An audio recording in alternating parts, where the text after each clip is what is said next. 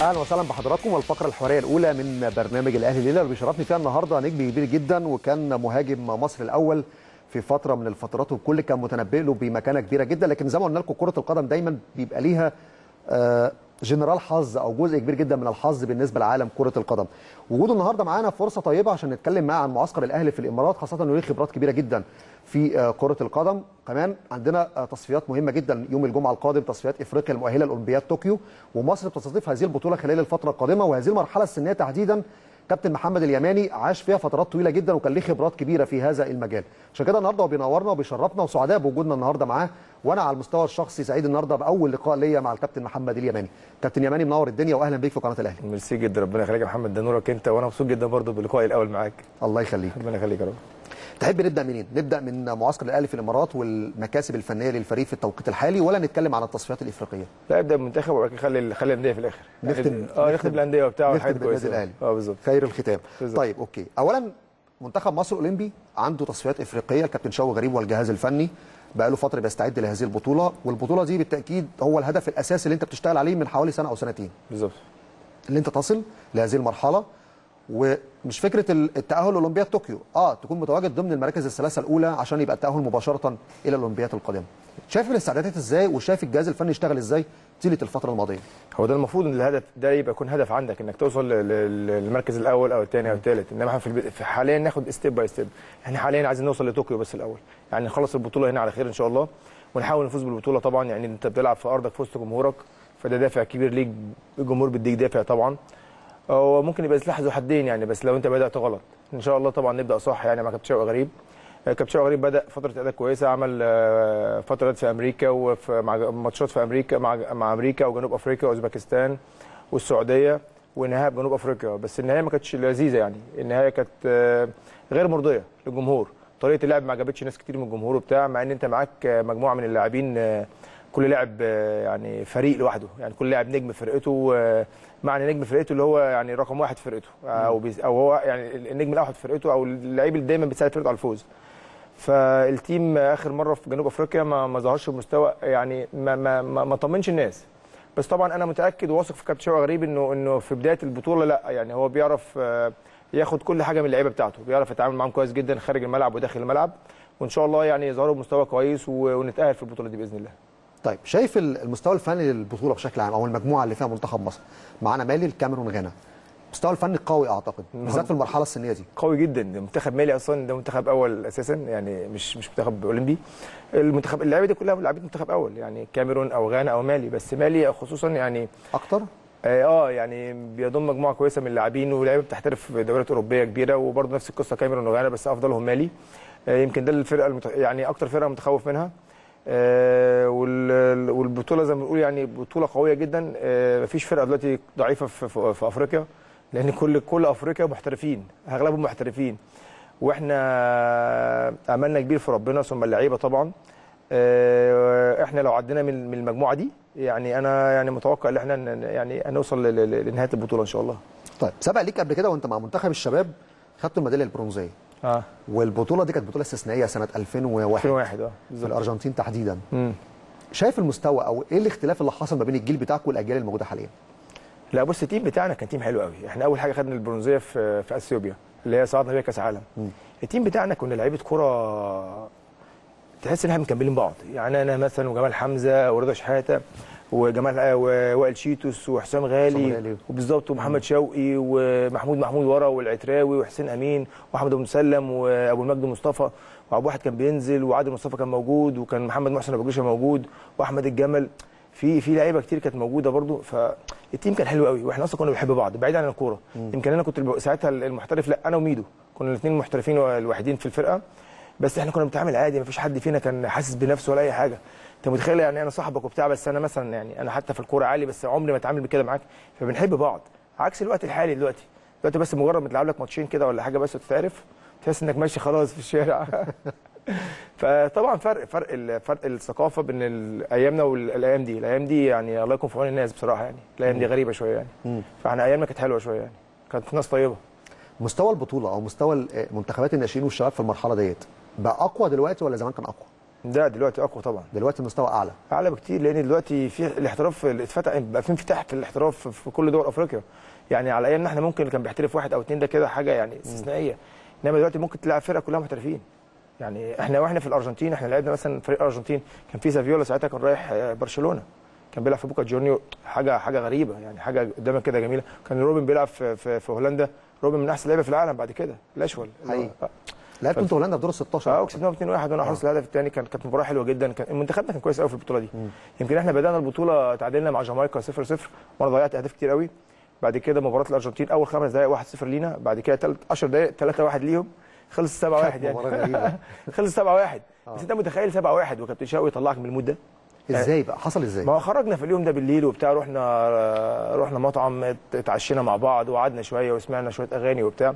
طلعنا من الجو خالص يعني بتاع بتاع الماتش خالص ما ركزناش في الماتش خالص. واللي خلانا كمان ما نركزش فيه اللي ساعتها ما كانش فيه إنترنت ولا ميديا ولا social. آه آه. social media ولا عندك بقى فاهم أي حد في الشارع كانت يبقى هتبقى قاتلة. بالظبط جمهور بقى يقول لك أنت مش عارف إيه ويديك كلمتين فاهم؟ لما تنامش. لا فالحمد لله كنا أصلا بعيد عن أي حاجة. وساعتها عشان عشان تتكلم دولي ما كانش الموبايل ما كانش دولي ساعتها. آه. كانت تخش بقى على الكابينة وبتاع وحوارات. فالحمد لله فاهم عدينا من القصة دي. كابتشاوي طبعا خرجنا منها ولعبنا ماتش فنلندا بعدين الحمد لله ربنا كرمنا وكسبنا 2-1 وبس ومشيت بقى معانا. أمريكا 2 بعد كده في كسبنا هولندا 2-1 أنا جبت الجون اتغلبنا من غانا بعد كده كسبنا في باراجواي في الثالث والرابع أنا جبت الجون كانت بطولة حلوة يعني. طيب أول حاجة عايز أتكلم عن محمد اليماني. اليماني فين حاليا؟ اليماني أنا أنا بطلت كورة مثلا كان عندي 30 سنة أنا عندي 37 حاليا.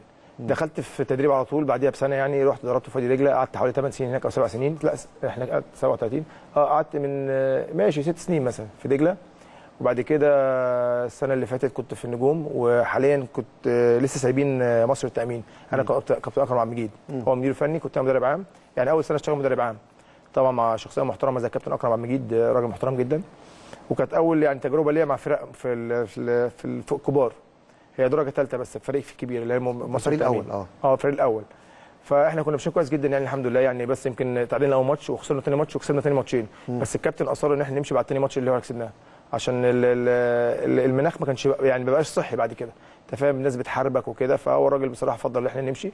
بس والناس محترمين هناك في النادي مفيش أي مشاكل بيننا وبينهم الحمد لله مشينا. حتى النهارده كان عندهم ماتش وخسروا 2-1 من سكة الحديد. بس.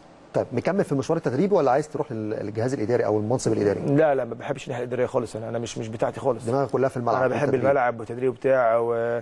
وممكن تسويق لاعبين كمان. يعني دي دي برضو يعني حاببها قوي بحب أتفرج على لعيبة كويسة قوي وان افيدهم يعني أفيدهم مش بمعنى مش عايز مصلحة من وراهم قوي يعني أكتر من إن أنا أفيدهم وأخليهم يحترفوا ويحسوا بنفس الجو اللي أنا عشته. لأن اللي يعيش الجو بتاع الاحتراف ده ما مش مش يعني يتمنى يعيش كل شوية. حاسس وانت محترف والظروف اللي حصلت والحادثة الحاجات دي كان لها سبب رئيسي في انت كنت ماشي بشكل كويس جدا وكنت رايح لمستقبل كبير قوي. على اليوفي وكده؟ آه. آه، بص أنا مش يعني مش ندمان على حاجة زي دي بس أكيد بتفكر فيها. بعد ما بتتفرج على اللعيبة اللي في, ال- في الوقت الحالي واللعيبة اللي هي يعني ككورة مش عالية قوي وما شاء الله الأرقام واصلة عالية أرقام آه، يعني أرقام كبيرة قوي. فبتقول ده على كده إحنا كنا كنا بالنسبة لهم. كنا كريستيانو وميسي و... لا كنا لعيبة كورة إحنا بس إحنا ما كناش بنفكر في المادة قوي كده. بس كان لازم نفكر في المادة بصراحة لأن هي دي المستقبل. انت بص أنا مثلا حصل لي ظرف مثلا كان لازم أكون مفكر في المادة عشان أكون عامل لنفسي حاجة على جنب. إنما دلوقتي اللي بيعملوه ده صح مش أقول غلط. بس بتكلم في كورة. أنتوا لا مش يعني لعيبة دلوقتي مش زي بتوع زمان.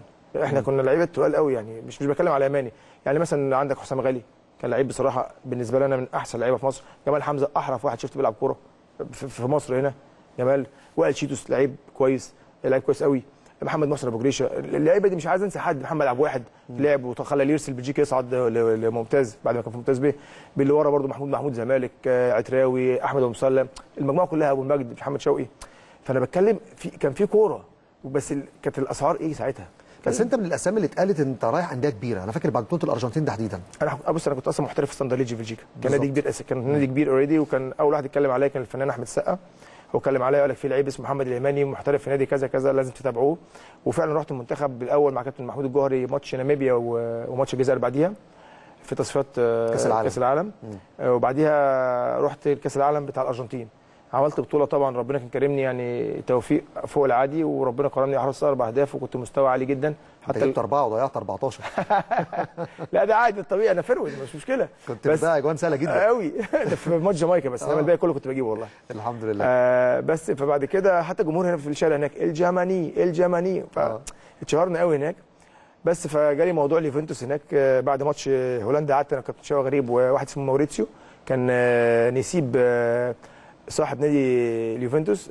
بس حتى كنت عايز الموضوع مش تعرف وكده كنت عايز أتكلم يعني أداري على الموضوع. بس كابتن شوقي اتكلم مع الصحافة وكده فلقيت تاني يوم بتاع اليماني جاي لي اليوفنتوس مش عارف بكام مليون دولار. بس فالحمد لله يعني الشعب المصري ابن حلال يعني ما بيسيبش حد في حاله. اخدت أخدت يعني حلوة يعني فجابتني جابت أجلي.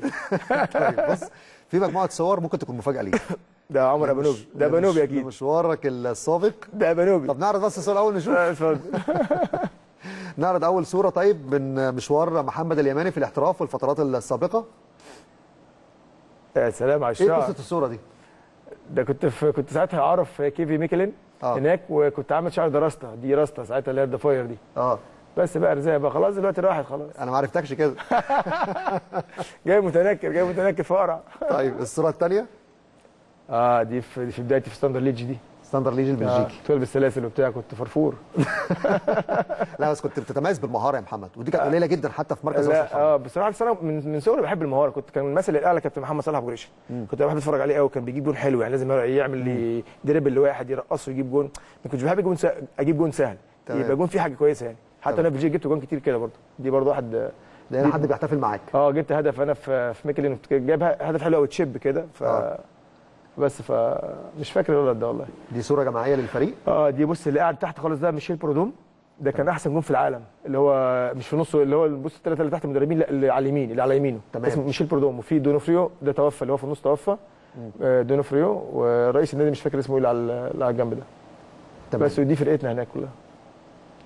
ده ديمتريو هابران دي الجزم بتاعتنا. كنا إحنا طبعا هناك sponsor اديداس كنت بخش آخد جزم Predator زي ما أنا عايز. آه. فكنت بقى باخد بالستة والسبعة زي ما أنا عايز. ونمشي نقعد نهرج وبتاع. بس يعني. فبص قاعد بيهرج بقى بيعد لي. دي وأنا كنت بقى دي بنلعب أندرليخت هناك في طبعا ده قمه قمة هناك في الدوري البلجيكي. آه بلجيكا ستاندر ليج مع اندرلخت آه لا بس ده مش ده كان ميكلين. ميكلين بقى, بقى بص ميكلين في عندهم ديربي تاني. لأن ميكلين دي أصلا أخدوا بطولة أوروبا قبل كده. مع ميشيل برودوم. فجمهور غريب. حتى بص نخسر ستة سبعة الجمهور بيجي زي ما هو. الاستاد full. كامل العدد. كامل عدد بس ده كان ديربي مع مين؟ ده ده ما كانش ده, ده ماتش كده مع أندرليخت. أنا الديربي دايما بيبقى الديربي الطبيعي اللي لعبته كذا مرة هناك أندرليخت وستاندر ليج وستاندر ليج ومرة لعبت كان طارق سعيد بيلعب في أندرليخت. وكسبناهم 1-0 إحنا هناك. كنت في ماتش كنت بلعب في الماتش ده. لاعب مصري آه يعني طارق آه. سعيد مع اندرلخت وأنت ساعتها كنت آه، في ستاندر ليج ونفس القصة مع أحمد صلاح حسني. كان هو في شتوتجارت وأنا بلعب في في شتوتجارت الألماني. آه وأنا كنت بلعب في في ستاندر ليج كنت بلعب في بطولة أوروبا معاه. اتعادلنا عند آه، اتعادلنا عندهم آه 0 0 أو 1 1 تقريبا وخسرنا عندنا 1 0 تمام. ده ده انت كنت جايب جيم كبير قوي. ده الفرقة كلها راحت لك. دي بقى آخر سنة ليا كنت بلعب برقم 6 مش 22 آه.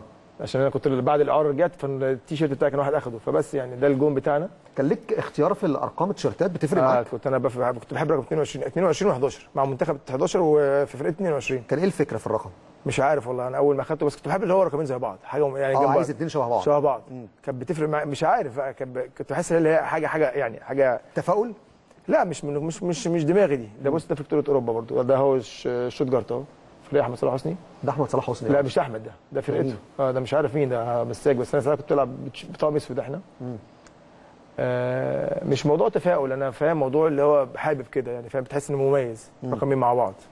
بس خلاص بقى الكلام دلوقتي دلوقتي الناس أرقام عدت بقى. ده في تدريب مع المدرب ده توفى. ده المدرب؟ آه دومينيك دونافريو آه. كان بيحبني جدا يعني. كان بيحبني بطريقة يعني هو كان أخوه بقى رئيس النادي لوشيانو دونافريو ده هنا أكيد أنت رايح على الجون. ده المفروض. بس أنا مش فاكر طبعا ده الكلام ده من قرن يعني. بتسترجع شريط الذكريات؟ بتتفرج على صور أو أرشيف أو ماتشات ليك؟ والله يمكن بنوبي عمر اللي هو اللي أبهرني بالصور الجديدة دي ما كانتش عندي والله ما كنتش عارف أجيبها. آه. لأن أصلا الصور وحاجتي كلها احتفظت بيها. زمان ما كانش في إيه تنزل صور على السيديهات وتنزلها على التاب أو حاجة زي كده. تمام. آه، كان ده طبعا الماتش كنت طالع آه بره لا كان في ألبوم عندك. فكل الحاجات دي سبتها عند واحد صاحبي في بلجيكا هناك ونزلت أنا مسكت بلجيكا. لأن كان معايا حاجات كتير قوي. فبس فمش عارف الحاجات دي راحت فين. فعمر بصراحة جابها لي يعني ده يعني تاريخ حلو ده ده تاريخ. ده أنا خلاص ما هو بعتها لي كلها. آه. دلوقتي خلاص احتفظت بيها خلاص. دي بعد الحادثة دي. ده كان أول موسم ليك؟ لا ده بعد الحادثة يعني بعد الحادثة بتاعتي. أنا كنت لعبت في بلجيكا ثلاث سنين بعد الحادثة برضه. آه. قعدت سنة كاملة مش كويس بعد كده بدأت أفوق يعني. ده جودوين اوجبارا بس مباريات آه، كانت مباريات أوروبية طبعا لولا آه. السوشيال ميديا. وقتها ما كانتش موجودة. بالظبط يعني أنت دلوقتي قلت كذا موقف يعني أنت قلت وأنت بتلعب في ستاندر ليج قدامك طارق السعيد في إندرلخت. أها. آه، بتلعب مع آه، قدام أحمد صلاح حسني في شتوتجارت ونفس القصة. قدام ميدو كان بيلعب في لاجانتواز كان بيلعب قدامه عادي يعني. يعني عارف أنت السوشيال ميديا لو كانت موجودة وقتها ساعتها كان زي دلوقتي زي دلوقتي بالظبط. بص مثلا آه، تريزيجيه قدام صلاح قدام صلاح. محمدي. محمدي موجود برضه. فالموضوع مختلف يعني. بس الواحد يعني بصراحة يعني لفت لفة طيبة قوي يعني فاهم؟ يعني عارف حاسس إنك كده إيه في تشوك كده في قلبي من من الصور دي كده والله حاسس حاجة حلوة يعني. لا بس بص مشوار لاعب الكورة بيبقى مع يعني بص آه، مذكور في التاريخ. وانت قدر الامكان بتحاول على مدار التاريخ تعمل حاجة اسم بس وتعمل بطولات. حاجة بستاج دلوقتي إنك بت- بفتكر حاجات يعني بفتكر أنا قاعد ما كده يعني حاطط image في دماغي يعني المواقف اللي كنت عايشها هناك يعني. بترجع للشريط زي آه وأنا. في الملعب والجمهور الجمهور كان بيغني لي وبتاع. يا جماعة القصة حلوة قوي يعني. القصة ده مش ممكن يعني. بصراحة لو حد احترف يعني احتراف وحس بالحاجات دي بس بي- بيحترف مش يحترف وخلاص كده اللي هو أي كلام عشان بيحترف بس راح يعني يقدم رسالة. تلعب كورة كويسة عشان يقولوا ده لعيب كويس وزي محمد صلاح كده بالظبط. محمد صلاح بيقدم رسائل في كل حاجة ما شاء الله يعني ربنا يكرمه. ده حقيقي. في بص يعني بداية ككورة ملتزم في كل حاجة. كناحية دينية ما شاء الله في ناس يمكن دخلت في الإسلام عن طريقه. وناس قالت يعني يعني شكروا فينا عن طريقه عشان طريق أسلوبه ومعاملته للناس. ف- كفاية اسم مصر لما بيت- بيتذكر في ملاعب الدوري الإنجليزي بس. زي Egyptian King بس بالظبط يعني كده. الملك المصري فبجد والله يعني حاجة تحسب له يعني وربنا يكرمه يعني. طيب آه وأنت موجود في الاحتراف.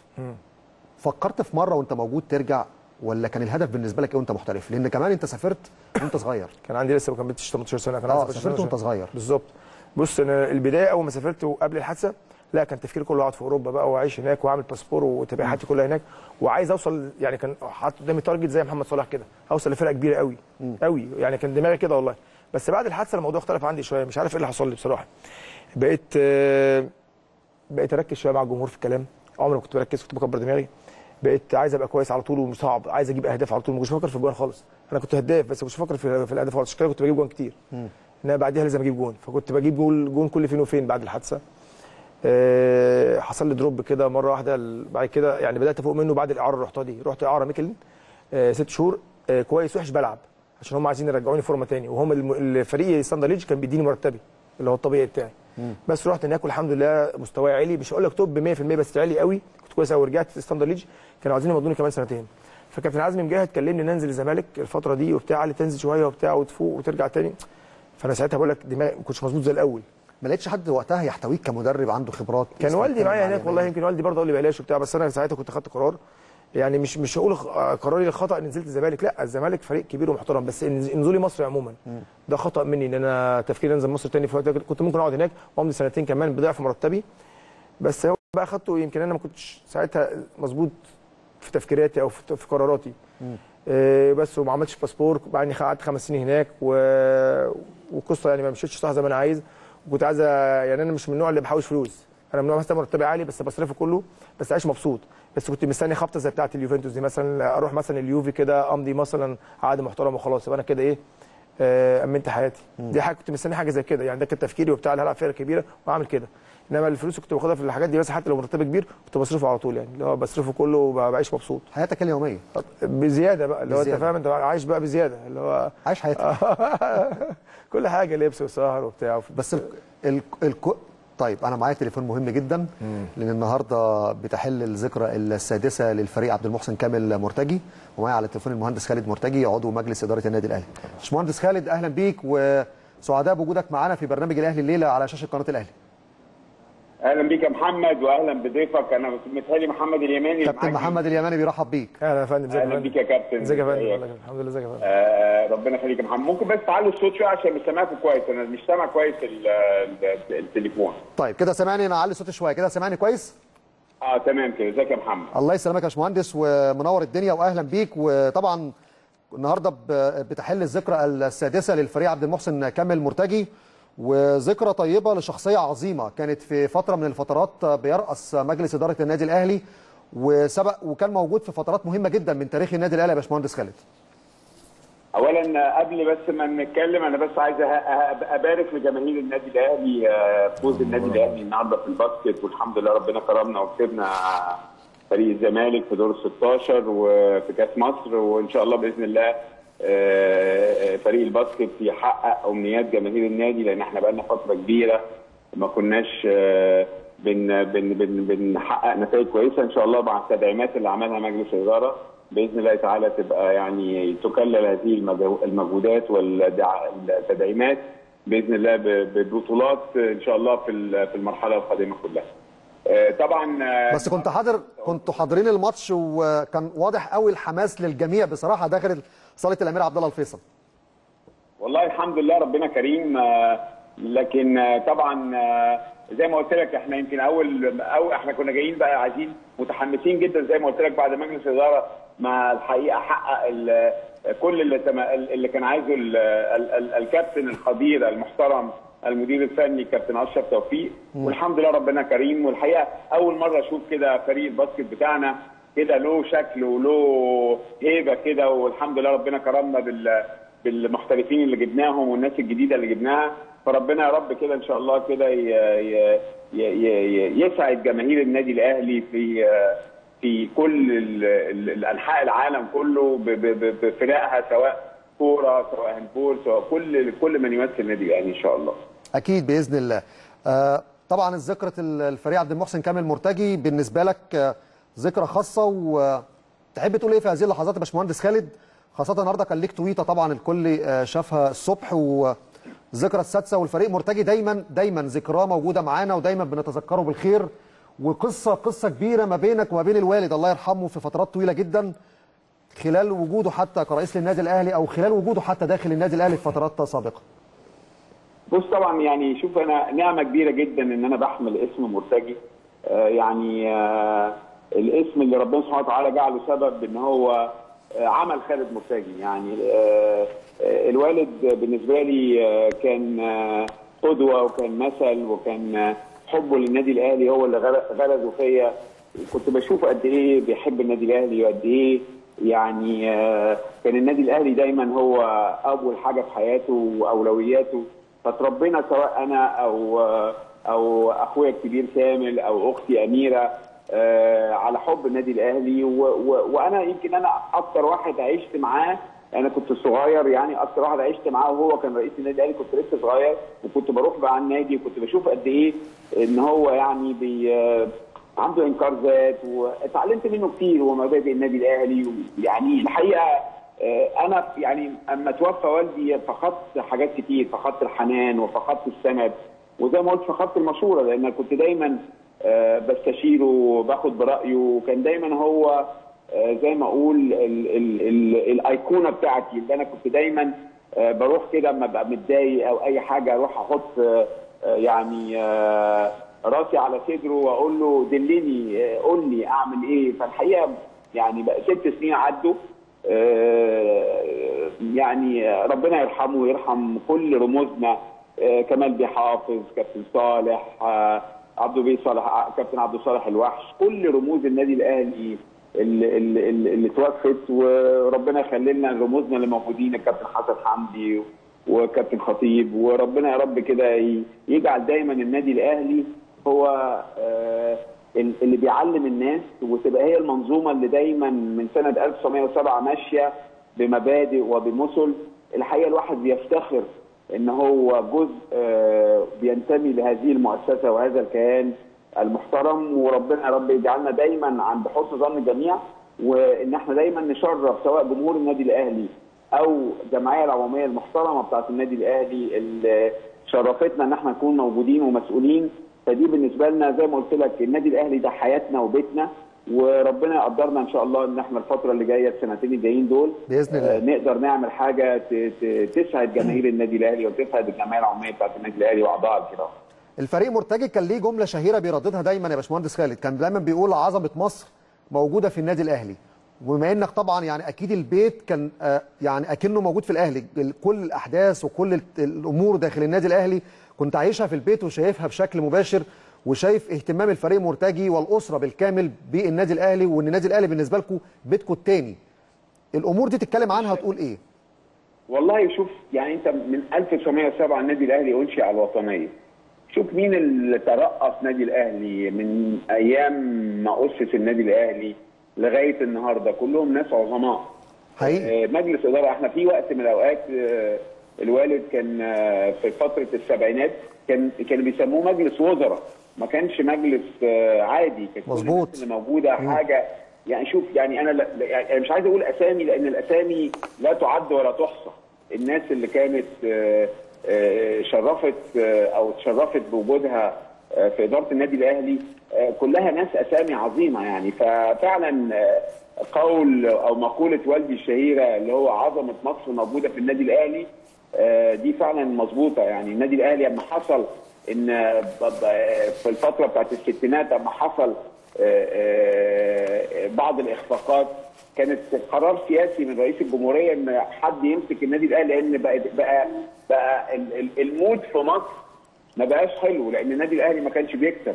حقيقي. الحمد لله رب العالمين آه، الوالد كان معروف عليه إن هو وهو في الجيش كان أهلاوي جدا وكان دايما ما بينه وبين المشير عبد الحكيم عامر رحمة الله عليه كان زملكاوي فكان دايما بينهم زي كده مشادات فلما ربنا سبحانه كرم الفريق مرتجي وجه سنة 65 ربنا كرمنا وقدرنا آه، نكسب الكاس سنتها وبعد كده أما تولى في ال- في السبعينات جه بقى العصر بتاع ال- الع- العظماء. التلامذه الكابتن محمود الخطيب ومصطفى عبده وطاهر الشيخ وجمال عبد العظيم ال- المرحلة الكبيرة الحلوة اللي عاشها النادي الأهلي في فترة السبعينات وانطلق بعد كده الحمد لله وزي ما أقول آه، النادي الأهلي آه، حاجة كبيرة قوي لينا كلنا ويمكن لسه كنت النهارده بعد الماتش قاعد مع شوية بعض الأعضاء. الواحد فعلا بيبقى سعيد إن هو جوه النادي الأهلي. حقيقي. النادي الأهلي بيبقى فخر لينا كلنا إن إحنا بننتمي ليه وإن إحنا ما بالك بقى الواحد اللي هو يكون مسؤول جوه النادي الأهلي. ده مش فخر ده فخر الفخر. حقيقي. أنت تبقى مسؤول و و و وتبقى دايما بتشتغل حبا في النادي الأهلي فقط وليس حبا في أي حاجة. زي ما بقول الكرسي مش هو اللي بيعمل البني آدم البني آدم اللي بيعمل الكرسي. فبالتالي وجودنا في النادي الأهلي كلنا شرف كبير لينا وربنا يقدرنا زي ما أقول إن إحنا نحقق كل آمال جماهير النادي الأهلي وأعضاء النادي الأهلي الكرام في الفترة اللي جاية. رسائل مهمة وكلمات عظيمة يا باشمهندس خالد بشكرك عليها ودايما كده نتذكر رموزنا بكل خير. لأن رموزنا جزء كبير من تاريخنا ودايما التاريخ والماضي هدف للمستقبل والحاضر إن شاء الله أن يكون النادي الأهلي دايما في المقدمة يا باشمهندس. شكرا يا محمد وسعيد بيك وسلامي لكل الناس اللي موجودة في قناة الأهلي وطبعا مشاهدينك الكرام والكابتن محمد اليماني أكرم الله يخليك يا باشمهندس خالد بشكرك شكرا جزيلا وعلى هذه المداخلة الطيبة والرسائل الجميلة والإيجابية اللي ذكرتها في هذا الحديث وذكرى الفريق عبد المحسن كامل مرتجي كلام عظيم وكلام مهم وأجمل ما في هذه الأحاديث الرسائل الإيجابية اللي بتنم بالتأكيد على أهمية ودور النادي الأهلي في المجتمع المصري بشكل عام ودور مشجعي النادي الأهلي والمسؤولين في الفترة القادمة للارتقاء بكل البطولات ومكانة النادي الأهلي في جميع الاصعده بشكرك يا باشمهندس وإن شاء الله كل عام كده نتذكر رموزنا بكل خير يا رب بإذن الله. كابتن يماني يمكن آخد بس منك كده كلمة سريعة بتبقى حاجة عظيمة لما بيكون لك رموز كبيرة وكان لهم دور كبير جدا حتى في المجتمع وفي النادي الأهلي بنتذكرهم كل سنة. طبعا ده ده شرف للأجيال حتى كمان القادمة. طبعا ده يعني مثلا ده شرف لأي حد طبعا يبقى عارف عارف شخصية قيمة زي كده. وبيفتخر بيها طبعا. يعني مش قادر أقول حاجة بصراحة يعني هو آه، السيد مرتضى مرتضى قال كل حاجة بصراحة يعني. آه، فكلامه كلام مؤثر جدا يعني والله وواحد من رموز الناس النادي الأهلي طبعا طبعا كلنا عارفين النادي الأهلي طبعا بقيمه من أيام آه، صالح سليم. السيد صالح سليم فأنا ما أقدرش يعني يبقى كلامي مجروح بصراحة لو قلت كلامي يبقى مجروح. تمام يا كابتن بس. طيب آه طيب نتكلم على مشوارك الاحترافي والظروف اللي كانت عائقة في فترة من الفترات وما قدرتش تكمل أو ما قدرتش تلبي طموحاتك اللي أنت كنت عايزها وقلنا دايما الكورة فيها حظ كبير جدا. طيب بعد فترة الاحتراف وبعد ما رجعت كان دايما هدفك في إيه؟ إن أنت تلعب حتى في الدوري المصري ولا خلاص فكرت إن أنت تعتزل فما ينفعش لا؟ مش أعتزل هي حسيت إن الدنيا مش عايز تديني يعني حسيت إن الكورة مش مش عايز تديني تاني. لاعب الكوره بيحس بيها يعني بيحس ان هي ماشية معاك أو مش ماشية معاك. حتى أنا رحت لل- جيت رجعت على الزمالك بس ما تأيدتش. فمشيت قبل التأييد بيوم رحت الإسماعيلي قعدت ست شهور هناك. لعبت معاهم كويس قوي كنت بلعب كورة بس الكورة مش عايز تخش. يمكن جبت هدف واحد بس في الفيصلي الأردني. كان هدف كويس قوي كنت بلعب كورة كويس قوي بس بعديها ما كملتش مع الإسماعيلي. رحت ال- الاتحاد ثلاث سنين ولعبت. كنت كويس مع كابتن طلعت يوسف. بس خلاص يعني آه، اللي هو الموضوع بقى أنت بتكبر بقى خلاص بتكبر و- وسنك بيكبر. بس ف قعدت ثلاث سنين بعد كده مشيت رحت شوية سافرت شوية الصين وبعد كده رحت مضيت في فنلندا في كوبس ورجعت لعبت شوية في ممتاز ب ملك كفر الزيات بعد كده سافرت لعبت في فلوريانا في مالطا. نهيت هناك يعني. أخدت كأس وتاني دو... أخدت كأس وتاني دوري في فرقة في الممتاز هناك. فبس يعني فرجعت أتدرب بعد كده. ما, طولتش. بتحاول بقى تحقق طموحاتك في التدريب؟ وتعوض اللي فاتك في في نفسي الملعب. والله. بس الموضوع برضه حاسس إنه حاسس إن هي مقفولة على ناس معينة. يعني حاسس هنا في مصر برضه أنا بص أنا قدمت في المنتخبات. في أول حاجة الكلام ده من ثلاث سنين أو حاجة. طب خدت كورسات الأول؟ أنا معايا لغاية B مع مستني بس أخد ال A وال Pro آه. هما بس ب- ده بره. مصر ولا في مصر؟ هنا في مصر بتاعتنا. مصر. آه خدتهم ده لازم أخد- بتاعت مصر لازم أخدها. أنا مصري. يعني ما هاخد منين؟ تمام. فالقصة كلها الموضوع منحصر على ناس معينة. يمكن حتى أنا كنت بروح أعمل اختبارات في رحت اللي هي في اتحاد الكورة كان بيقول لك قدم وبتاع عشان المنتخبات. طب الناس عارفاني وبتاع وأروح أقدم برضو. وفي ناس ما بتجيش تقدم معانا وياخدوها برضو المنتخبات. فالموضوع كان يعني كان ماشي مش مظبوط بس عادي بقى ما أعرفش بتبقى ماشيه إزاي. أه والله يعني وصلت لآخر حاجة رحت قعدت مع كابتن هنا بريدة لأن هو كان كان زي كان زي بابايا أو أو أيام المنتخب يعني. 2001 كان هو المشرف بالظبط كان. بيعاملني كويس قوي ويماني وبتاع. طبعا كنت أنا في الصورة ساعتها ومعروف. فبس فطبعا رحت له بصراحة قابلني كويس يعني وقال لي إن شاء الله لما تعمل منتخب 2003 إن شاء الله هتبقى موجود متواجد معانا وكده. بإذن الله. بس آه بس هو حاليا مشي طبعا ساب الاتحاد الكورة. فأنا املي كبير في ربنا طبعا ثم الناس اللي موجودة لأن يعني أنا أنا أنا خدمت البلد. أنا مش بقول لهم على فكرة لا أنا مدرب يعني مش مش, مش هقول لك أنا مدرب كويس. خلاص يعني أنت لو هتعمل اختبارات للناس كلها أنا أنا مستعد زي الناس كلها أدخل اختبارات مفيش أي مشكلة. بس أنا واحد دربت في ليا السي في بتاعي ممكن تشوفه دربت في كذا فرقة وبتاع والنتائج بتاعتي ممكن تشوفها. آه، ولعبت كورة وزي ما أنت بتختار كده الناس اللي هي لعبت كورة وأسامي معروفة مش تحطها في المنتخبات. أنا لاقي حق إن أدخل زي الناس دي. يعني دوري كابتن غريب أخذ معاه شوقي محمد شوقي والشيتوس حقك تاخد فرصة. بناء على إيه؟ هم على فكرة الاثنين كويسين يعني والشيتوس محترم وشوقي محترم ومدربين كويسين. ما هو نفس الاختيارات بتاخد بتختار بيها ال- ال- المدربين؟ زي بالظبط. اليماني بيختار برضه اليماني برضه آه، زيهم زي زيهم. مش أي مشكلة مش عايز أي حاجة مش عايز أبقى شاذ عن حد. أنا عايز أبقى زي الناس كلها بس آخد حقي. أنا اسمي محمد اليماني أنا جبت ثالث عالم تمام؟ ده ده الإنجاز الوحيد اللي إحنا عملناه في مصر دلوقتي- لغاية دلوقتي. وبتمنى طبعا إن أي فرقة ثانية بتطلع وتعمل أعلى منه لأن إحنا إحنا كلنا مصريين. عايزين مصر تبقى رقم واحد في العالم. فده ده الطبيعي ده اللي أنا. بتمناه. يعني بس أنا بتكلم دلوقتي على الإنجاز الموجود دلوقتي حاليا أعلى إنجاز بتاعنا. خلاص وصاحب الإنجاز مثلا أو واحد كنت أنا مثلا من العناصر الموجودة في الإنجاز ده أو الناس أحد صناع هذا الإنجاز. بالظبط واحد مميز في الإنجاز ده مش عارف ياخد حقه في البلد يعني في, في تدريب في مجال التدريب أو أو أو. لسه المشوار عندك طويل ولسه الفرصة إن شاء الله جاية بإذن مفيش الله. مشكلة أنا نفسي فيها بس أنا بقول لك أنا بسعى فيها برضو مش بقول لك. أنا مش عايزها دلوقتي أنا بس أنا بسعى فيها. يعني فاهم قصدي؟ يعني أنا دلوقتي بقول لك داخل 8 سنين في تدريب أو 7 سنين في تدريب. فأنا بسعى إن أكون كويس أو أوصل لحاجة كويسة. في ناس وصلت برضو يعني ميدو ما شاء الله ربنا يكرمه اتدرب في الممتاز أهو. طب ما ميدو برضو من نفس السن يعني. الجيل بتاعكم متواصل مع بعضه؟ مش قوي يعني. مش قوي يمكن على فترات يمكن على بس فترات. أنا مع شيتوس كل شوية ممكن بكلمه محمد محسن أبو جريشه بتاع. يعني ميدو كل فين وفين. أو ساعات دلوقتي ما بكلموش خالص يعني حاليا مفيش خالص اي أي contact بيننا. طيب. نرجع بقى للحديث على المنتخب الأولمبي وعنده أول مباراة مع مالي. اولا شايف مستوى المجموعة إزاي؟ مالي الكاميرون غانا. آه، المجموعة قوية جدا. مجموعة حديدية. الموضوع هيبقى صعب جدا مش هيبقى سهل. آه، قصة انك بتلعب في أرضك آه، أنا بقول لك سلاح ذو حدين بس هي رقم واحد ده لصالحك. إنك هتاف الجمهور تشجيع والحاجات دي كلها في ظهرك أنت في لصالحك أنت. تبدأ أي فرقة ثانية الفرقه الثانية طبعا المفروض يعني يبقى عندها رهبة من الكلام ده بس ما أعتقدش إن في حد عنده رهبة من الكلام ده دلوقتي بالذات الأفارقة لأن ثلاث أرباعهم محترفين. فهينزل ماتش عادي جدا وقدام جمهور وبتاع. بس في حاجة تانية يعني يمكن لعيبة مصر دي حاليا منتخب لعيبة توب جدا بس الفترة الأخيرة كلها عندنا في مصر هنا ما كانش في جمهور. فهم ما لعبوش قدام جمهور كامل. يعني ما يمكن بس رمضان صبحي اللي رمضان صبحي عشان كان بيلعب محترف في, في, في إنجلترا. وحسين الشحات مثلا لما كان محترف برضه. آه، سوري أنا آسف حسين ده في الأهلي. أنا كده دخلت على الأهلي. كده دخلت على الأهلي. أنا آسف معلش. رمضان صبحي. تمام. يعني أكتر واحد مثلا هو مش بقول لك المعلومات بتخش على بعضها. فرمضان صبحي يمكن أكتر واحد لعب في وسط جمهور. إنما الباقي اللعيبه ما لعبوش قدام جمهور. فممكن الموضوع يعني يسبب حاجة شوية بس لازم لازم يعني أنا على ما أعتقد يعني كابتن شوقي في البداية هيعرفهم القصة دي طبعا وهي وهي وهي بس وهيعرف في ميزة بالعكس يمكن صلاح محسن لعب في الدوري سواء مع إنبي أو مع النادي الأهلي مصطفى محمد في الزمالك فين الجمهور؟ ما أنا بتكلم على جمهورك فين؟ ما كانش ساعتها كان ممنوع دخول جمهور. أنا بتكلم على الفترة الأخيرة. الاجواء الجماهيريه بالظبط بس في. البطولة مش هيبقى بنفس الاجواء الجماهيرية اللي كانت في كأس الأمم الأخيرة. ده هيبقى عالي جدا على فكرة. تتوقع ان يكون في حضور جماهيري طبعا كبير. طبعا. ده هيبقى كبير جدا. انت بتتكلم على فكرة على فكرة الناس دلوقتي متعش يعني الجمهور كله. متعطشين للكورة عايزين يروحوا المدرج ويتكلموا ويشجعوا وبتاع. و- واتوقع انها هتبقى برضو منظمة زي آخر آخر كأس أمم. يعني اللي هتبقى برضو منظمة الدخول والطلوع كانت كانت هايلة يعني. فالموضوع لو لو مشي بالطريقة دي هيبقى كويس قوي بالنسبة للتنظيم. إنما أنا بتكلم على اللعيبة دلوقتي. بقول لك اللعيبة دي كلها ما كانتش بتلعب قدام جمهور بكم كبير. فالموضوع يعني يا رب إن شاء الله يكون في صالحنا طبعا واللعيبة دي يعني تجهز نفسها على حاجة زي كده. وت- وتاخد الموضوع لصالحها. الناس دي جاية تشجعها دي نفسها تتفرج على كورة حلوة نفسها تفصل تاخد بطولة زي ثلاثة كأس اول اللي خدناهم مع كابتن حسن شحاتة.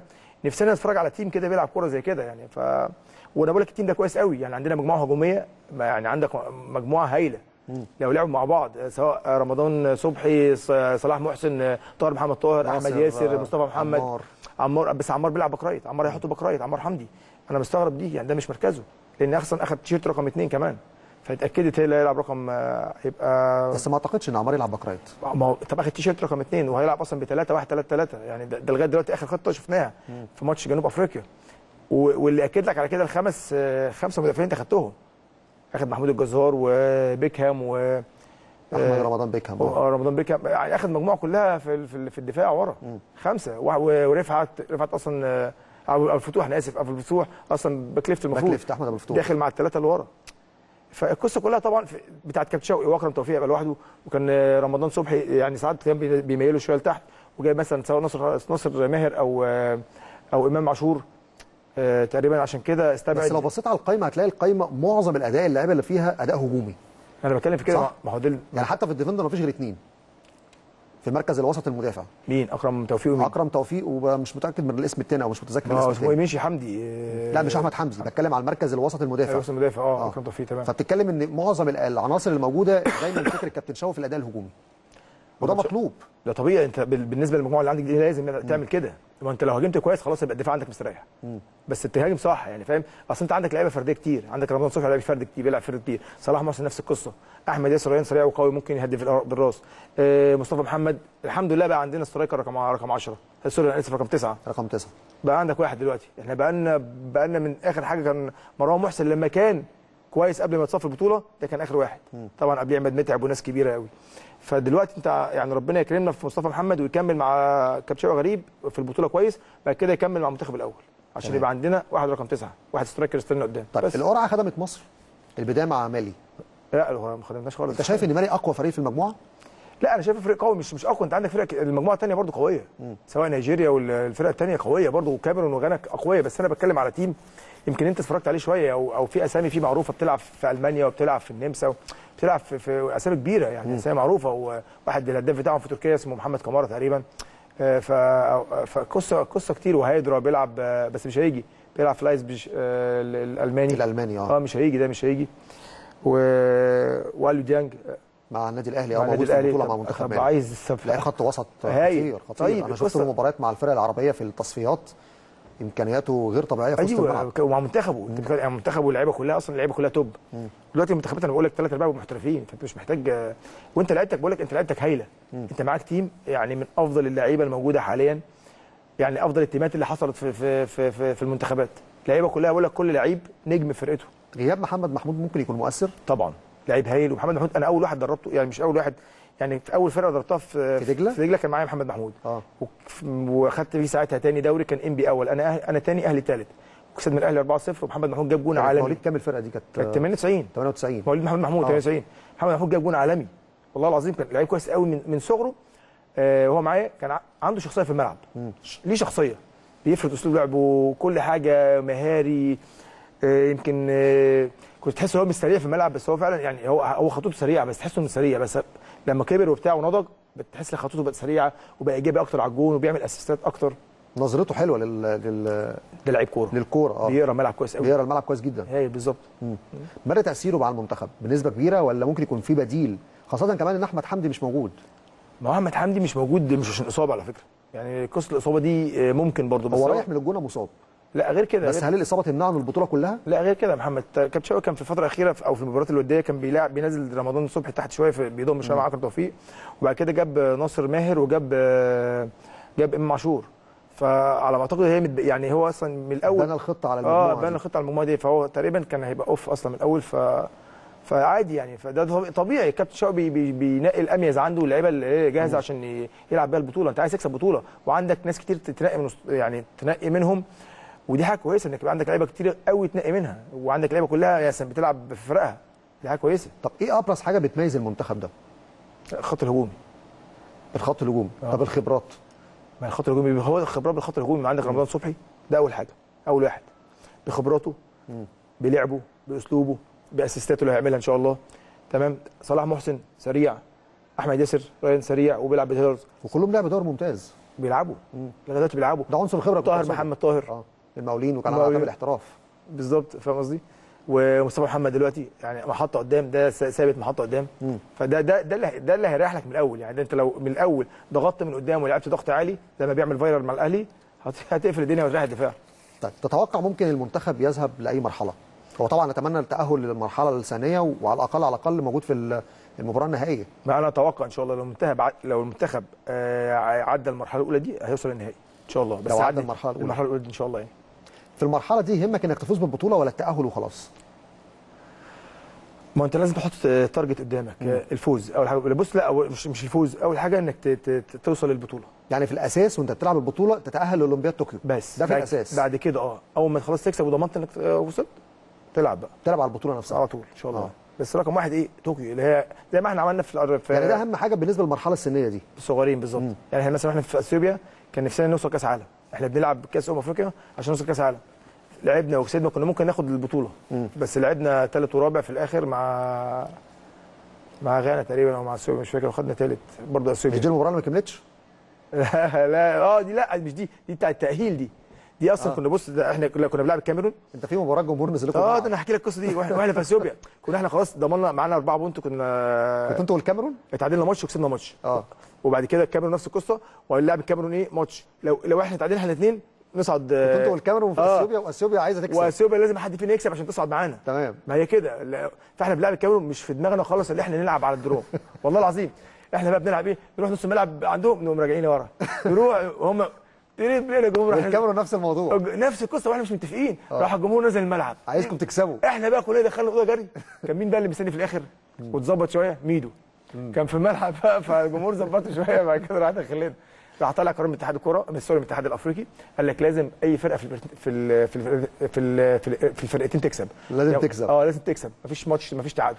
آه. هي كده خلاص بقت جبري والله. يعني كنت بتفرج على المباراة دي وقتها. الجمهور في أثيوبيا ده نزلوا كسروا كان عايز لا يعني كان عايز يا مصر تكسب يا الكاميرون تكسب. بس فبيشاوروا هنا هاجموا وبيشاوروا هنا إحنا بنروح وبنرجع. أنت متخيل كده؟ هم بيروحوا وال- والعيال عادي في الملعب لزاز قوي بتوع الكاميرون. مفيش مشكلة. إحنا مش, مش أصلا مش متفقين مع بعض. بس عارف بيقول لنا راجعين بالكوره ورا. الجمهور طبعا فهم الكوره أوه راحوا مرة واحدة راحوا نازلين علينا. بس الحمد. لله ربنا كرمنا في ماتش الكاميرون أنا جبت جولين في الكاميرون كسبنا لما ثلاثة تعادت المباراة بقى. آه كسبنا ثلاثة أنا جبت جولين في الكاميرون والحمد لله. كنا كنا ساعتها بص راجعين في الباص. بنغني من اول من بعد بن- عاملين هيصة في الباص لغايه ما رجعنا الاوتيل كنا فرحانين قوي. صغيرين بقى وعايزين نوصل كأس عالم وساعتها كنت أنا محترف في بلجيكا في ستاندر ليج كان ميدو معانا في البطولة دي برضه آه فكانت أيام حلوة قوي. الأيام دي الواحد ما بينساهاش والله. كانت بطولة غريبة كمان. غريبة. وساعتها مصر وأثيوبيا هم اللي صعدوا من المجموعة. آه بالظبط. لا بالعافية. أثيوبيا بالعافية. يعني بالكوره هو قرار اعاده المباراة وفكرة لازم فرقة تكسب دي كانت غريبة. اللي كمان أصل أنتوا بتلعبوا على النقط. مش عارف. يعني قرار غريب بس إحنا الحمد لله يعني امتثلنا القرار وربنا كرمنا الحمد لله. طيب هل ممكن الكابتن شوقي غريب يقرر نفس إنجاز الأرجنتين؟ أه والله أنا أتمنى طبعا آه، كواحد مصري أتمنى إنه مش مش يعمل نفس إنجاز الأرجنتين. لا يفوز بالبطولة كمان ويعديه لأن إحنا زي ما قلت لك قبل كده أنا عملت إنجاز أه وفرحان بالإنجاز بتاعي بس نفسي نعدي الإنجاز ده. اصل التالت ده مش التالت ده مش حاجة. في لسه في أول وفي تاني يعني ربنا يكرمه ويوصل لأول كمان طبعا. بس ميداليه برونزية في كأس عالم أو في اولمبياد حاجة عظيمة وحاجة كبيرة. آه منتخبات إفريقية سبقتنا يعني غانا سبقتنا الكاميرون سبقتنا نيجيريا سبقتنا بس بتبقى حاجة عظيمة بالفرق العربية. أكيد بس أنا بقول لك بتمنى إيه؟ أنا مش عايز حاجة عظيمة خلاص أنا عايز آخد ذهبية مش عايز آخد عايز. تاخد ذهبية. إيه ليه لأ؟ عشان أتشرف بالكلام ده. أنا الكلام ده بيبسطني على فكرة جدا. مش مش هقول لك أنا بقى واحد مثلا لأ أنا آخد أنا آخد كده برونزية عالم ما حدش هيعديني. ليه؟ ما تعديني وبتاع. بس أنا مصري في الآخر. مش غريب إن مفيش فرق عربية في التصفيات اللي جاية؟ يعني المنتخبات اللي موجودة في مصر في التصفيات طوكيو سبع منتخبات إفريقية. تونس مش موجودة الجزائر مش موجودة المغرب مش موجودة ليبيا. مع ان مع ان عندهم لعيبة كويسة حتى في الأعمار دي في في لعيبة محترفة كتير يعني. خاصة المغرب. المغرب والجزائر بالظبط بالظبط. وإحنا شفنا الكلام ده شفنا في في, في دول كتير. آه بس لا بس بيلعبوا المنتخبات الثانية صح صح. أصل هو فعلا صح. اللعيبة دلوقتي ال- ال- المغاربة أو التوانسة أو كده بيلعبوا معاهم جنسيات فرنسية أو جنسيات مثلا آه، بلجيكية أو- بلجيكية بتاع بيلعبوا في ما بيرضوش يلعبوا مع ال- مع المنتخبات العربية. وبصراحة تفكيرهم أحسن. أنا بقول لك يعني. في المرحلة الصغيرة في دي. المرحلة الصغيرة دي. مم. بي- بيفكر في الصح يعني. مع منتخب بلجيكا مثلا ممكن يلعب كأس عالم. مش عارف بيوصلوا لحاجات يعني خلاص اللعيب دلوقتي اللعيب الصغير ما بقاش في حد صغير. اللعيب بقى تفكيره صح ومظبوط صح. قدامك كل حاجة انت شايفها. شايفين الم- الناس اللي شغالين بعلم إزاي وبيوصلوا إزاي. انت عارف منتخب بلجيكا عشان يوصل للمنتخب ده كأس عالم ل- لآخر فورمة دي ليه أو آخر مستوى ده ليه؟ كان شغال من 3 4 سنين أو 5 سنين على على عليهم. على مراحل صغيرة في الناشئين على اللعيبة دي. الأول. آه لغاية ما وصلوا للمستوى ده ووصلوا كأس العالم بالمستوى ده. حتى تصنيفهم من أعلى ثلاثة في العالم. ما أنا بتكلم في كده. إنما انت أنت اللي المفروض تعمل الكلام ده في مصر. تشتغل على الكلام ده. ما تشتغلش على اللي قدامك دلوقتي على القماش تشتغل من تحت تبدأ من القطاع ما تشتغلش بالظبط على القماشة اللي قدامك دي. أنت أصلا من البداية يا محمد لازم تدي الناشئين بتاعتك فرصة. أنت أصلا أنت بتشتري لعيبة افارقه وتحطهم عندك في الأندية واللعيبة دي بتفيد بلاد بلادها. وت- وت- اللعيبة بتاعتنا إحنا ال- الناشئين بتسرح ال- ال- ال- ال- ال- الفرق. يعني السنة دي مسرحين 97 المفروض كان يلعب دوري أو أي حاجة لا ما فيش دوري ليهم. بادئين من 99 طب اللعيبة دي هتروح فين؟ اللعيبة دي على فكرة في لعيبه كويسة لعيبة كتير قوي كويسة. اللعيبة دي محتاجة فرصة بس تحط كده في تتشافها في يعني تاخد فرصة مع الفرق الكبيرة. ال 97 ده خلاص فريق أول. تخطيط يا محمد صح؟ بس انت عايز حد يخطط صح. زمان كان في بقول لك زمان كان في ناس كويسة.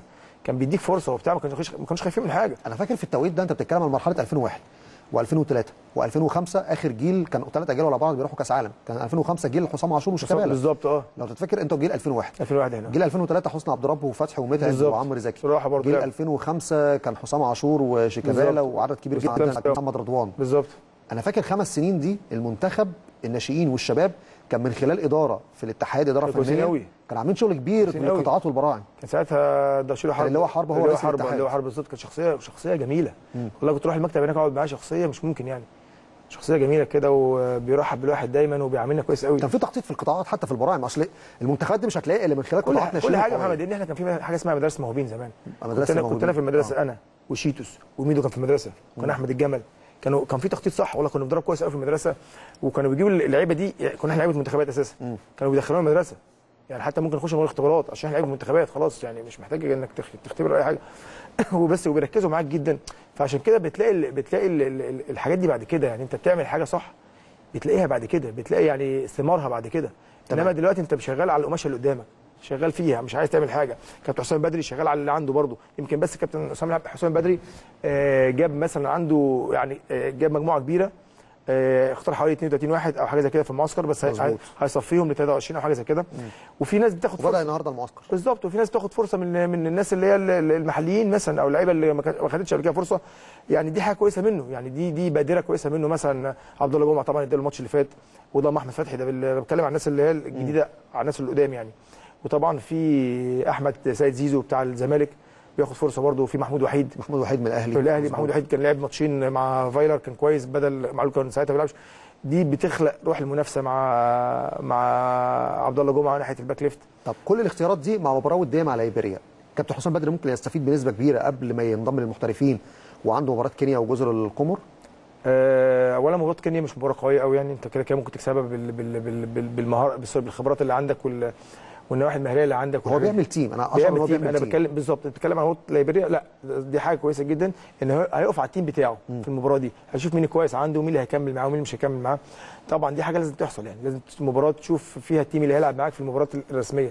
وكويس اللي كينيا وجزر القمر دول المباراتين مش قوي مش قو... مش عايز أقول لك مش كويس التصفيات مش بالمستوى القوي. أيوه بس, بس مفيش حد تاخد لها مفيش حد مش آه. قوي دلوقتي. مظبوط. ما كلهم لعيبة كويسة ولعيبة كورة كويسة. بس نقول أضعف شوية من المنتخب بتاعنا. بس يا مسهل بس إيه أنا نفسي بص أنا من, البداية ما كنتش إيه مش مش مش من الناس اللي رحبت بتولي ال- كابتن حسام بدري. بس حاليا أنا أنا في ظهرك كابتن حسام. آه، ربنا يكرمك بالتيم بتاعنا. بس يا رب يبقى عندنا الأفضل. آه، ما نجيش نلاقي نلاقي نفس برضو المراكز اللي فيها نفس الناس برضو. لا, عايزين لعيبة جديدة وجوه جديدة حد تاني يبقى في كده. يعمل نشاط في المنتخب في في لعب جديد. إيه المركز اللي أنت شايف محتاجة فيه؟ يعني ممكن يكون فيه نقص أو أنت محتاج يكون فيه عناصر جديدة. هو رقم تسعة. رأس الحربة. أما أنت جايب كوكا برضو يمكن عشان لسه صلاح محسن ومصطفى محمد وأحمد ياسر ريان في الأولمبي. طب فين محمود مرعي؟ فين أحمد علي؟ طب الناس دي فين؟ ما أنت عمال تدي بص أنا مش أنا أنا بطلع في كل حاجة بتكلم على كوكا أنا مش عايز أضطهده. يعني الولد الولد آه، يمكن نجح في في, في بره في أوروبا لما كان في اللي هو في اليونان لما كان في البرتغال. آه، بس مع المنتخب ما قدمتش حاجة. فأنا مش آه، مش عايز كل شوية أطلع أتكلم عليك بس آه، يعني إن شاء الله ربنا يكرمك لو الكابتن اختارك يعني يا كوكا وتقدم حاجة جديدة للمنتخب آه، عشان أنا برضو مش أنا أنا كنت لعيب كورة فما بحبش حد يتكلم عليا وحش. فبصراحة يعني أنا مش مش عايز أسيء ليك لا أنت أنت راجل دلوقتي آه، في منتخب مصر وليك اسمك و range كبير آه، ربنا يكرمك مع كابتن حسام البدري وتقدم حاجة كويسة لو هو اختارك يعني في الفترة اللي جاية دي. آه، بس يعني كان كان نفسي يعمل حاجة في ماتش بتسوانا اللي فات بس برضه ما عملش بس آه، ربنا يكرمه في اللي جاي. لكن ده المركز انت شايف الفترة الجاية ممكن يكون فيه تطوير لأن المركز ده محتاج راس حربة بمواصفات راس حربة. وعندك الاثنين midfield برضه. عندك آه، عايز حد مع طارق. دلوقتي ممكن عندك اختيارات كتير عندك حمدي فتحي بقى مع السولية مع حمدي فتحي لاعب الأهلي. بص من أحسن لاعب حمدي فتحي بص بالنسبة لي تشوف الأهلي مليان نجوم بس حمدي فتحي أحسن لاعب في الأهلي حاليا. لعيب تكتيك. هايل. آه. يعني هايل. ربنا يكرمه يعني ويكمل كده ويبقى منتخب. بس طبعا في طبعا اختيارات ثانية يعني طبعا. انت في النني موجود راجع برده مش الكابتن مختار طبعا النني النني طبعا كان جاي لما كان في آخر بطوله كان جاي من كانش بيلعب في الأرسنال الأساسي وبتاع. عشان كده في البطولة الأخيرة ما كانش كويس. كان ظاهر مستواه مش كويس. فإحنا مش عايزين كده. إحنا عايزين اللعيب اللي يلعب في الملعب يبقى لعيب جاهز. وعلى ما أعتقد المفروض يعمل كده كابتن حسام بدري الفترة الجاية لأن كابتن حسام بدري مش محتاج لحد ينتقده تاني أو حد يتكلم عليه أي كلام ملوش أي لازمة يعني. إحنا عايزين نشوف ال- المنتخب بتاعنا بصورة صورة إحنا اتعودنا عليها. صورة كويسة يعني. صوره صورة بتاعت بطولة. بإذن الله. طب. أختم معاك بقى وأتكلم عن النادي الأهلي. معسكر الإمارات في التوقيت ده أعتقد فرصة طيبة إن الجهاز الفني يقدر يقفل على الفرقة ويشوف بعض العناصر محتاجة تز- تزود إيه في الناحية الفنية والبدنية في التوقيت ده. ده طبيعي أي معسكر في أي مكان مش لازم الإمارات بس. هي طبعا الإمارات هيبقى جو أحسن طبعا هناك. التوقيت ده بالذات آه. بالظبط. طبعا دي في توقف هنا. أول حاجة أنا مش من الناس اللي بتحب التوقف أساسا. بيأثر. التوقف أصلا كده كده التنظيم غلط من الأول. ما في الكلام ده مش- شفتوش في أوروبا يعني. إحنا بنبدأ الدوري يوم 21 8 ولا مش عارف كام 8 نخلص 21 5 ما فيش أي كلام. في تجمع منتخب ولا حاجة هو أسبوع واحد. لو في توقف. لو في توقف. وغالبا ما بيعملوش توقف. لأن في بقول لك الفرقة الثانية فيها كلها لعيبة. طب اللعيبة الثانية دي هتلعب إمتى؟ أنا باخد لاعبين أو ثلاثة من كل فرقة خلاص. الباقي يلعب عادي. آه، بس ف بالنسبة للنادي الأهلي طبعا يعني هيشتغل دايما المعسكرات بتفيد اللعيبة وبتقدر تشتغل مع اللعيبة اللي انت هتشتغل معاها private لوحدها عشان تقويها أو تنمي حاجة عندها ناقصة تعمل شغل بقى تكتيك كتير. وطبعا الراجل لسه يعني ما بقالوش ك- حوالي شهر ونص. شهر ونص هنا طبعا بس بس شهرين. بس شهرين لمسته بالظبط. باينة يعني لمسته باينة. فايلر بيلعب بأسلوب آه، بص بي- بيضغط من قدام ضغط عالي وبيهاجم. فالناس كلها حاسة إن الدفاع بتاع الأهلي كويس مع إن الدفاع مش wow يعني. بس هو اللي اللي مخلي الدفاع شغل كويس أو الدنيا كويسة إن طبعا مصطفى محمد والسوليه آه، sorry أنا آسف حمدي حمدي فتحي. أنا آسف حمدي حمدي. فتحي والسوليه آه، طبعا وال- وال- والهجوم. والباكات. يعني لا سيبك سيبك من الباكات طبعا أحمد فتحي ومعلول سيبك من دول أنا بتكلم اللي بيخلي منظر ال- ال- الدفاع كويس إن أنت أصلا بتهاجم بتعمل ضغط عالي من قدام. عندك رمضان صبحي عندك حسين شحات في أعلى مستواهم دلوقتي. يعني رمضان- حسين شحات عنده ثقة بنفسه غير عادية طبعا مع فايلر. ورمضان صبحي بيلعب كورة للأمام وبيحرز أهداف مع الراجل ده يعني سبحان الله يطوره قوي. آه، طبعا ب... ب... بوجود كمان آه، أجاييه بيلعب معاه تمام وقفشة. ال- ال- ال- ال- الرباعي الأمامي دول طبعا بالسوليه وحمدي فتحي آه، هم يعتبر يعني أكثر قوام مساعد الفريق إن ما يظهرش عليه كور في الناحية الدفاعية. تمام. بس. لكن متفائل المرحلة الجاية شايف الأهلي لما يرجع الدوري الجهاز الفني خد مساحة وقت أكتر يقدر يشتغل مع الفرقة. بالظبط هو الراجل بدأ صح يعني. بص عكس عكس مثلا مش عايز أتكلم على فرق تانية خلينا بس أتكلم على الأهلي. خلينا في الأهلي، آه بالظبط. فاهم؟ هو بدأ صح يعني بدأ في الأول وكمان موضوع السوبر اللي كسبه طبعا يعني دفعة معنوية قوية. دفعه معنوية قوية جدا يعني فاهم؟ وهيبدأ طبعا الأهلي إحنا متعودين عليه طبعا. بص الأهلي حتى لو بعد بيرجع بمستوى تاني وبيرجع كويس قوي يعني. بس. كابتن محمد اليماني أنا بشكرك بتمنى لك التوفيق سعيد جدا بحواري معاك. وأنا من الناس اللي كنت بتتفرج علي كنت بتفرج عليك من زمان ف قعدت على القهوة يعني ده ثلاث ثلاث أنت فاكر أنت ساعتها الماتشات لما كانت مشاريب بتتلعب في. الأرجنتين الساعة 4 الفجر؟ آه مشاريب بفلوس بتاع وكان ساعتها بقى ال- آه، سوري أنا آسف الكرسي بفلوس كرسي وبتاع. 10 جنيه أنا دفعت لك في الثلاث ماتشات. تعبناك انت عايز فلوس طيب؟ كابتن اليماني أنا بشكرك وكل. التوفيق ليك يا رب وإن شاء الله موفق في مشوارك التدريبي وتعوض اللي فاتك يا رب في يا الملاعب رب ربنا يخليك يا رب. تسلم تسلم كابتن يماني حلقة كانت مهمة جدا وفنية مع أحد نجوم قطاعات الشباب والناشئين في فترة سابقة وسبق كان ليه الاحتراف في فترات مهمة. جدا في الدوري الدوريات الأوروبية. كابتن محمد اليماني وحديث عن المنتخب الأولمبي في المرحلة القادمة وكابتن شوقي غريب والقيادة الفنية للمنتخب في البطولة اللي هتستضيفها مصر إن شاء الله ابتداء من يوم الجمعة القادم التصفيات الإفريقية المؤهلة لدوره طوكيو الأولمبية في صيف العام القادم 2020 بعد الفاصل فقرة مهمة جدا مع الناقد الرياضي الأستاذ محمد صادق وهيكون معاكم زميلي العزيز عمر ربيع ياسين. وفقرة مهمة جدا عشان تسمعوا وجهة نظر الإعلام الرياضي والنقاد الرياضيين في المرحلة الحالية والاستعداد بالنسبة للمرحلة القادمة وما هو الجديد في الكرة المصرية والتصفيات الإفريقية اللي هتنطلق في مصر إن شاء الله نهاية هذا الأسبوع. شكرا لحضراتكم وألتقي على خير بإذن الله معاكم في حلقات أخرى قادمة من برنامج الأهلي الليلة.